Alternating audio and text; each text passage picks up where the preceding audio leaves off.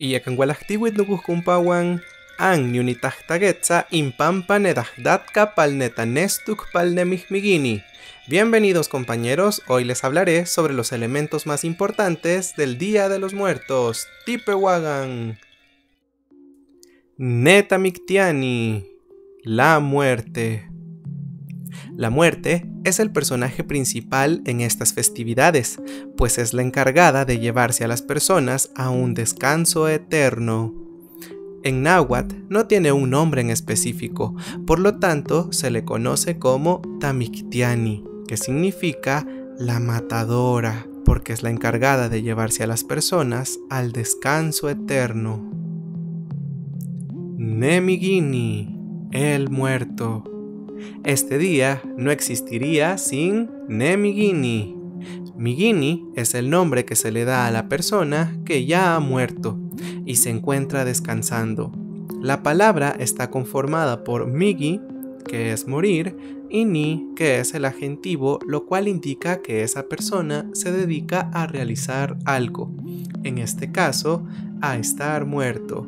Nemigini, el muerto. Ne Sempual Shuchit, la Cempasúchil.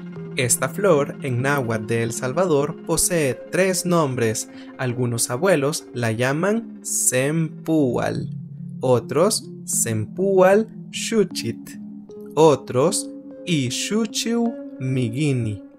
Esta flor es la flor de muertos con la que se solía adornar a los altares el 2 de noviembre. Su nombre en náhuatl viene de Se Pual, que significa 20, y Shuchit, que significa flor.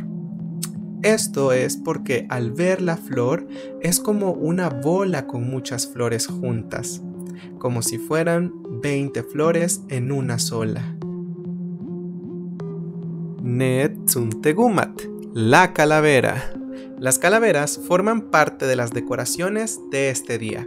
Sobre las calaveras hay una historia muy conocida en el pueblo de Santo Domingo de Guzmán, en Sonsonate.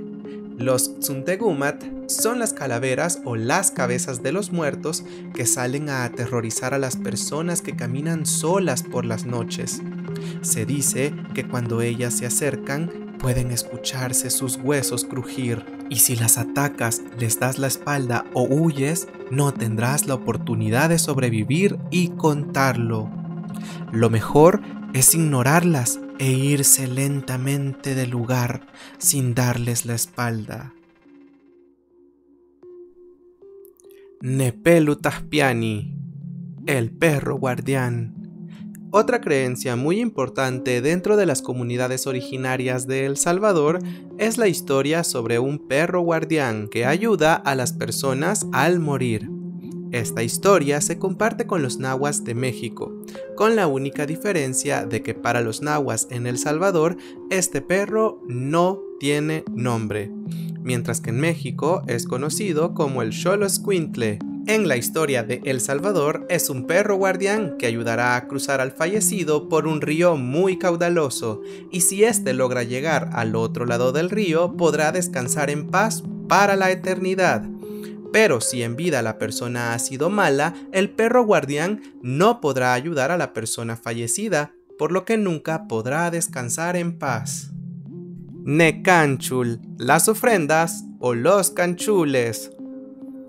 Los canchules son una ofrenda que se prepara para el Día de los Muertos, pues existe la creencia de que en este día los muertos regresan a visitar a sus familiares y vienen a degustar y a oler sus platillos favoritos.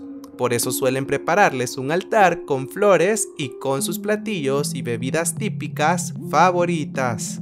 En la actualidad aún se celebra en los pueblos originarios el Día de los Muertos con los canchules, haciendo altares con las comidas favoritas de los difuntos. También se hacen procesiones en donde las personas piden degustaciones de los canchules, cantando la siguiente frase. Tehemet ganega yigahkuti witzet, tehemet tituhtuna el palnemismigini. Tehemet tiknegit kanchul, paltikuigat tikneuhti. ángeles somos, del cielo venimos, canchules pedimos para el camino. Tiawit, tigin netumie gawan y hikman.